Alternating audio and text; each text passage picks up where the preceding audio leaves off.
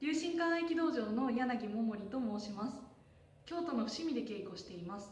うちの道場では合気道を中心として鹿島の剣術内科剣気候ヨガなども練習します。